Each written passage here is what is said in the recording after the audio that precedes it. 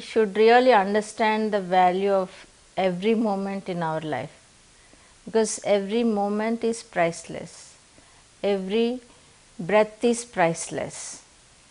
So, so we can enjoy so many things when we are alive.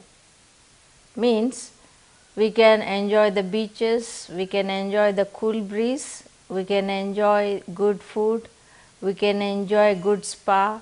Like that, the list goes on endlessly. All this is happening because we are alive. Because we have life, we are able to enjoy all the stuff in the world. Not only the stuff in the world, the stuff in the universe. I really enjoy watching different things about the universe, the galactic spaces, the stars, supernovas, blazars, quasars, such big things are happening in the universe. All this is made possible by the courtesy of life. So, every moment becomes priceless. We should really enjoy every moment by realizing its preciousness. We cannot let go of a moment without feeling the excitement of that moment. We cannot let go of a day without feeling the glory of that day.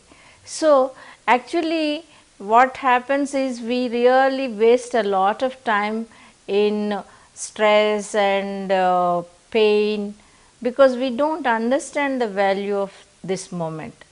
Because if, if we don't know any other language like Tamil or any other language, we cannot understand that language if someone speaks in that language because we don't have the decoding the system in the brain.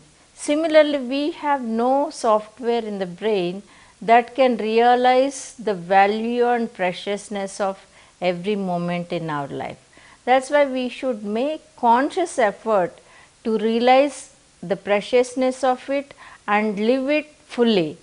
Take the best out of it and use it fully. Then we will not face any problem because we are understanding the value of each moment.